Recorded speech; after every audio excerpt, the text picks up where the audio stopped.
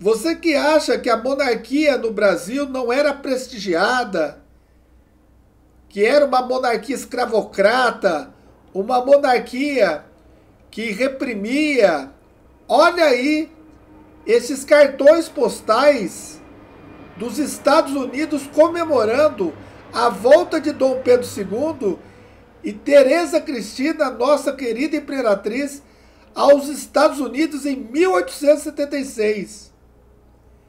Estes cartões foram feitos em homenagem à comemoração ao centenário da independência americana. Olha o prestígio que a família imperial brasileira tinha na época do Brasil Império.